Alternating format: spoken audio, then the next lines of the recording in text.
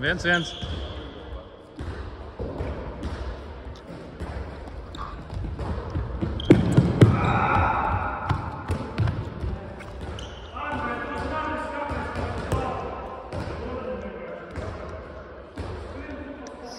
Divi, viens.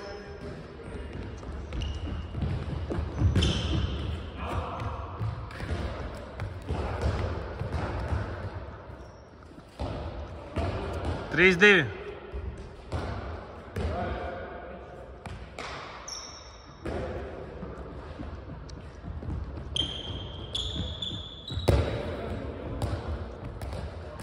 Četri, trīs. Noslēdzošais.